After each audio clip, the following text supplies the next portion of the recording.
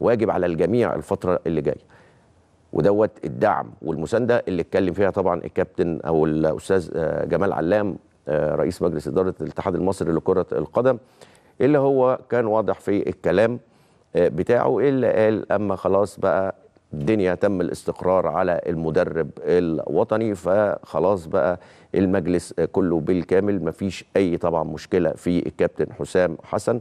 لأن طبعا إحنا عارفين وبنسمع وبنشوف طبعا بيتكتب هنا وبيتكتب هنا وبيتكتب هنا وبيتكتب هنا ولكن بالإجماع الاتحاد المصري بعد الاستقرار على المدرب الوطني آه، تم الاستقرار على الكابتن آه، حسام حسن والموضوع يمكن ما خدش آه، دقائق معدودة في اتخاذ القرار النهائي. عندنا مدربين كويسين ومدربين خدوا فرصة. الكابتن حسام البدري في وقت من الأوقات كان موجود الكابتن إيهاب جلال في وقت من الأوقات كان موجود دلوقتي الدور دور حسام حسن.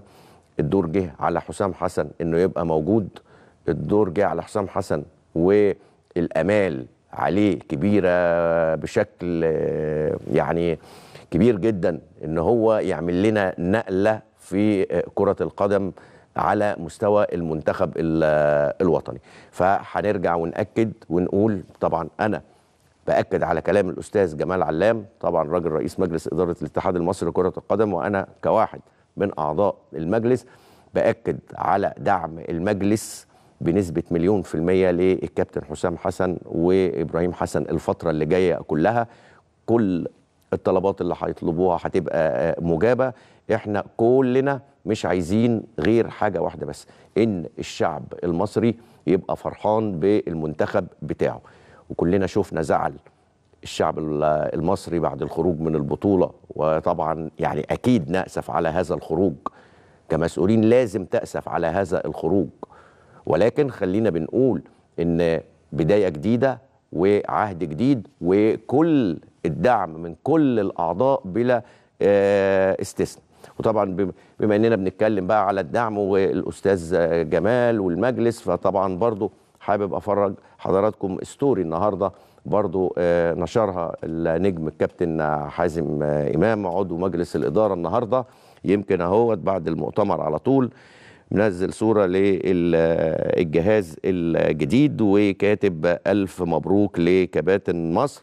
وكل التوفيق لما هو قادم إن شاء الله.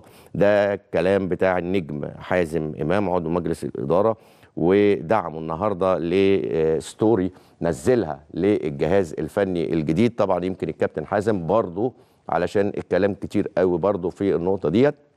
كابتن حازم النهارده ما حضرش للمؤتمر لأن كابتن حازم يتعرض طبعا بقاله يمكن أربع خمس أيام لدور برد شديد وصفوا البعض إن هو يعني فيروس آه، آه، كورونا والراجل يمكن تعبان جدا ربنا يشفيه ويعافيه ويرجع آه، سالم في أسرع وقت إن شاء الله.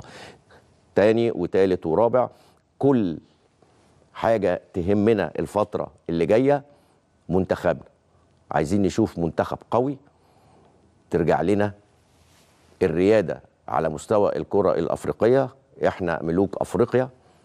كنا بنتعشم في اللي فات ولكن خلاص اللي فات اللي حصل حصل. ولازم يبقى في تفاؤل للمرحلة اللي جاية. المرحلة اللي جاية مع حسام حسن إن شاء الله تبقى مرحلة ولا أروع بإذن الله. هنطلع فاصل.